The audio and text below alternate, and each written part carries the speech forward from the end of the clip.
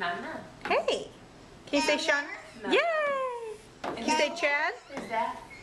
Dutch. Dutch. So good. I can be Uncle Dutch, I guess. Is that?